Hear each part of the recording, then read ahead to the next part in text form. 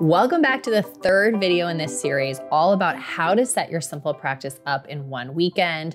This video is all about billing. And if there's one thing we want to know how to do really well in our simple practices, it's how to do our billing. So I really encourage you to take this video one step at a time, pause it as you need so that you can set up your billing right the first time.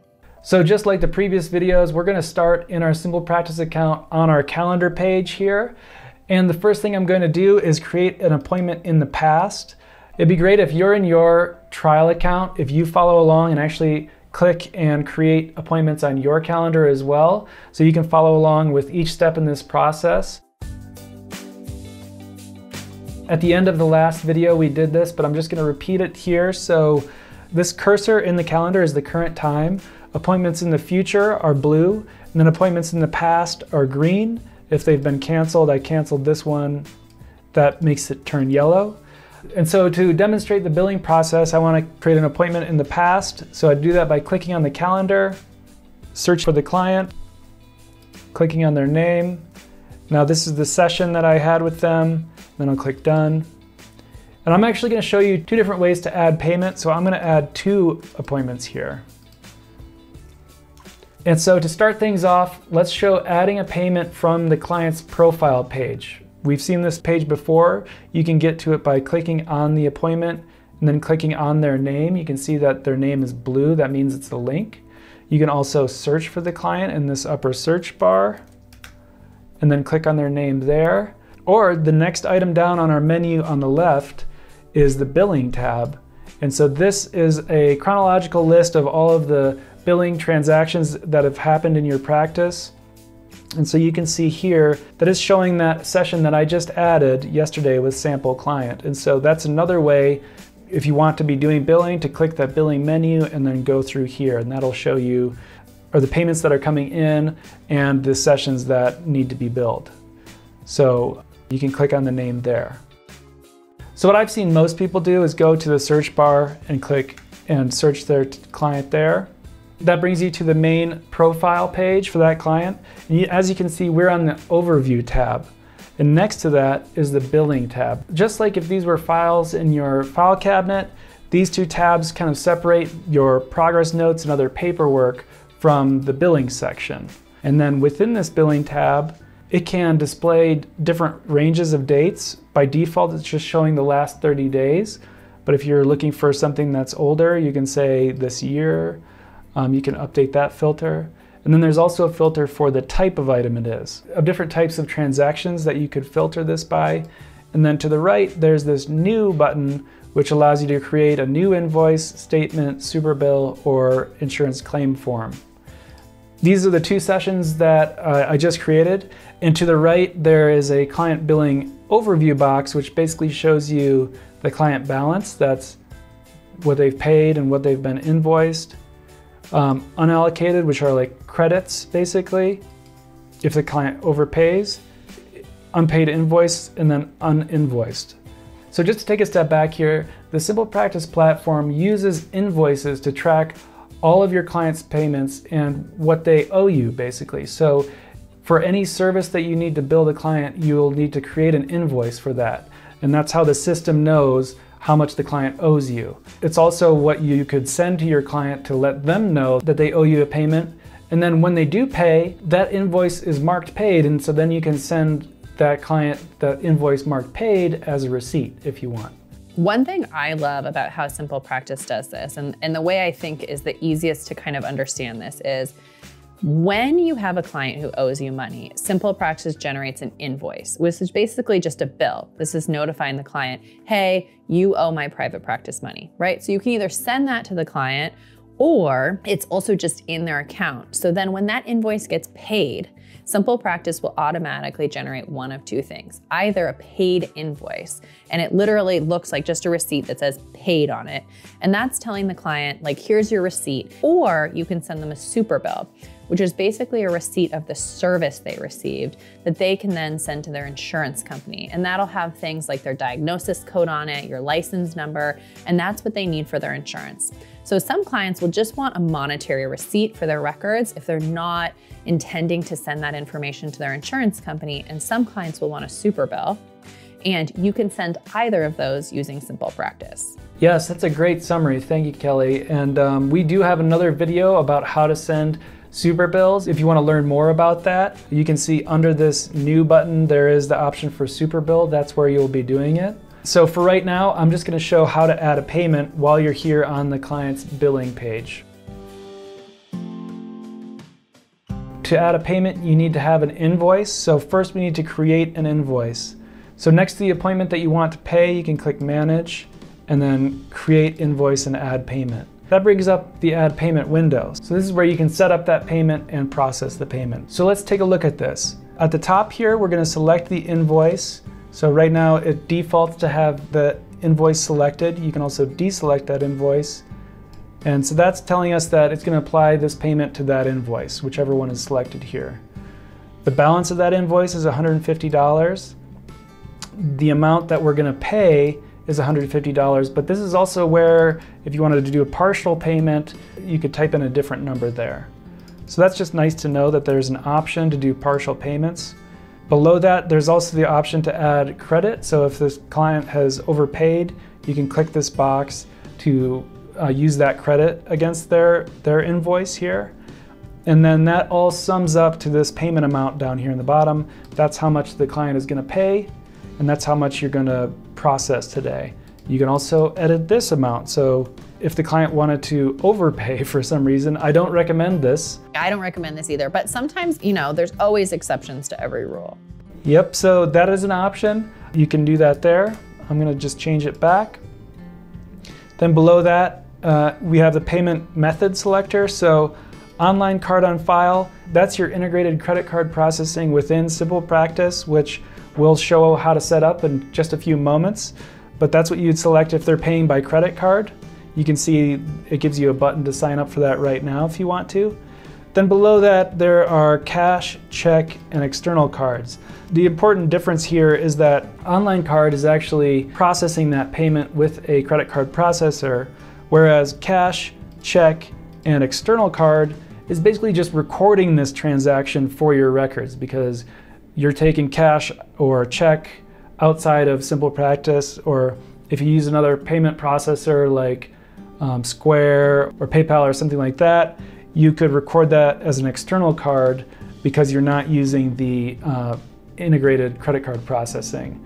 That just tells the system, hey, I did collect that payment for this and to just make a record of that on the invoice. So I'll just put that as cash.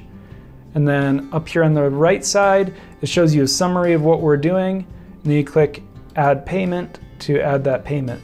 We're back here on the billing tab and you can see for this session, there's an invoice below here. The, it's been marked paid. And if I click the invoice, that brings up the invoice and that has been marked paid.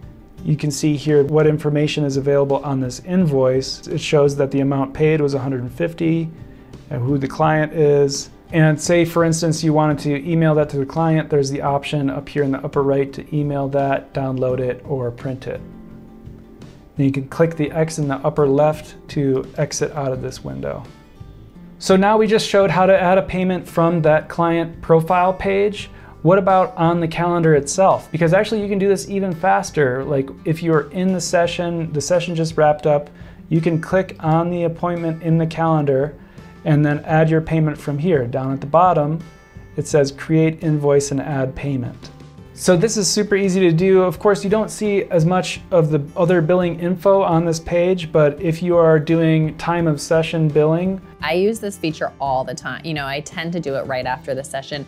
And you know, you get better and better at this too. This is one of those things that starts out really scary. So if you're in your first weekend trying to learn all this stuff, it can seem really complicated. But by the time you've used Simple Practice for a few weeks, like I know I actually do this from the app on my phone. Um, and it takes me two seconds after an appointment. You know, I usually will do it sitting in my car as I leave for the day. I'll just go through and do everyone's on my phone. So it does get easier.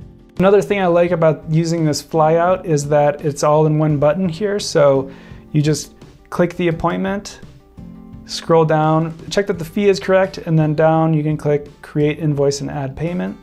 That creates the invoice in the background, and then it's automatically selected here. We see the fee again, the payment amount, you just select, um, okay, I collected payment with an external card, and then click add payment. So that's super fast. Then you can see that this invoice is added to the, the session flyout as well. You can click that if you want to look at it. But it's just that simple. So maybe pause the video now and take a few moments to play around with this yourself if you weren't following along, to create a session in the past, add a payment for it, look at the invoice, um, just kind of poke around and make sure that you start to get comfortable with it. Okay, so hopefully you paused the video and did a little bit more exploring with the billing process, tried it out. And one thing I'm sure you're curious about is the online payments feature, the credit card processing feature that's integrated in Simple Practice. Right now we're gonna go through how to set that up. It's really quick.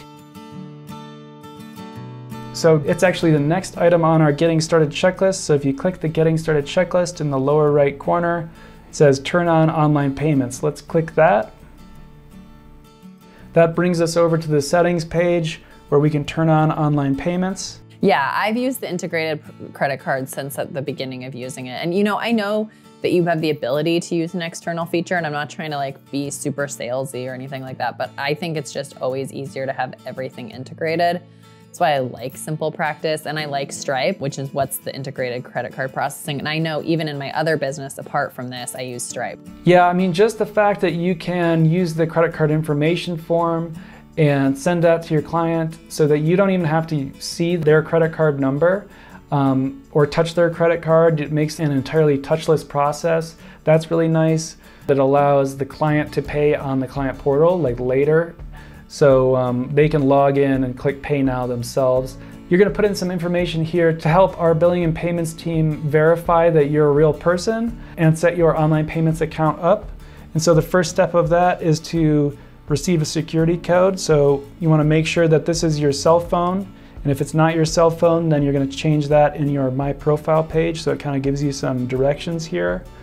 And then click Text Me and so I just want to give you a preview of what happens after that step. Basically, you're going to put in your business details, whether you're LLC, etc.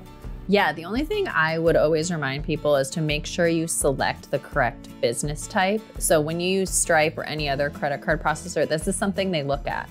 So when you click that business entity, you know, make sure to set this up after you know what type of business entity you are, whether you're a sole proprietor, an S corp or something else. Take the time to like pick the right answer on that. Then the statement descriptor is how you want your practice to show up on their credit card bill.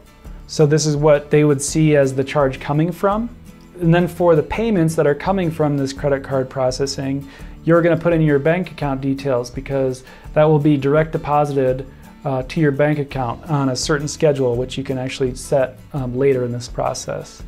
And then, of course, add your details, add some identity verification. That's what our team checks. Uh, agree to the terms and conditions, and then click Save. And so after you do that, it will give you some directions on what the next steps are. It might take a couple days for our team to verify your account. And if you don't end up using it, there's no fee for having it set up. So I highly recommend signing up for it just so it's an option for you in the future if you need it. So we're here on the settings page, which you can get to by going to settings and then billing and services. We have tabs in the top here of settings. These are, just general settings, online payments, services, products, and then insurance. This is where you would add your insurance info if you accept insurance, like your NPI number, your taxonomy code, things like that. So let's go to the services tab first. As you recall, these are the services that we added when we first signed up for our Simple Practice account. This is where you can customize them further. You can uh, use this button to add a new service. You can add the CPT code here and it will search our database, or you can just type in a number like phone if you wanted to add a phone consult. This is the description. Then you have the rate, so I'll add $0 for that, and it's a 15 minute session. You can also make this your default service, and these are some options for online appointment requests, and then click Save.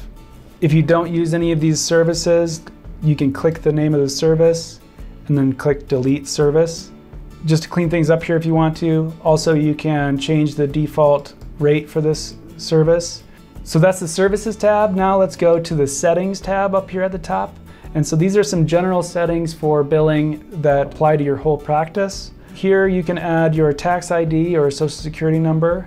And if you do add this, like say you add your social security number, after you add that, you can tell it whether you want to display this number on your super bills and invoices, just super bills, or none of them. And so in certain cases, um, super bills are going to require to have something like your tax ID on them. So that's why this option is here, but you can also select none. If you scroll down the service description, so this is in your invoices, what the service looks like. You can use just a general one like this, professional services, or you can click to use the actual service and description is in your account and that will be reflected on the invoice. So it's just up to you if you want that invoice to have something specific like that or a general name. Below that, you'll see that invoices are set to automatically be created each day. This is how we recommend setting it up. You can also set it to mark the invoices past due a, after a certain number of days. You can tell it to email clients when an invoice is past due. You can have it automatically create statements for your clients uh, automatically create super bills for your clients, which Kelley was talking about earlier. I do that. I love this feature. So I have it set at super bill once a month. And so clients can log in and I tell them this like, I'll send it to you once a month, but you can also log in and get it. So if they haven't downloaded it from me, you know, they can log into their portal and get it. Below that, this um, billing document delivery delay. That's basically if you have these settings set up to send your clients invoices after you create an invoice, it gives you kind of a buffer period after you create that invoice to edit it, and then it will send it to the client like after 90 minutes, for instance. So might as well just set that to the longest um, setting there. And then under here, billing documents for new clients. So for every new client that you create after this point, do you want them to get a statement and a super bill and or a super bill? You can click those on and you can also set how they receive those documents. So is do they not get an email at all? Or do they get an email with that document attached to it or with a link to the client portal? So the client portal option is the most secure option, so I usually pick that. And then you can select to have them be notified when each of these documents are created. Last but not least, autopay. Now this is the option to automatically bill your client at the end of the day after their session if they have a credit card on file. So this is super handy that if you have a client that doesn't want to think about paying and they're happy to just have their credit card on file with you and be automatically billed. You can also just use it for specific clients that you want to. So definitely something to learn more about later in your journey with Simple Practice. Yeah, that's one I always recommend like maybe get used to doing it manually and then after a few weeks or a month or two, then go into autopay, but it can be super useful. And that's a quick overview of the billing process. And like Kelley said, you can always find more resources on the Help Center.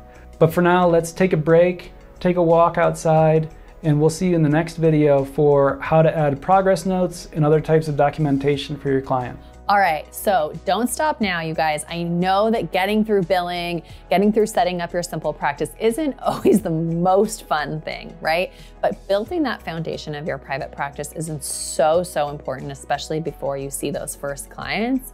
And make sure to tune in for the next video. Maybe go out and take a break, but then we're gonna talk about how to do documentation in simple practice. That's a really key part of setting this all up. So we're looking forward to seeing you in the next video.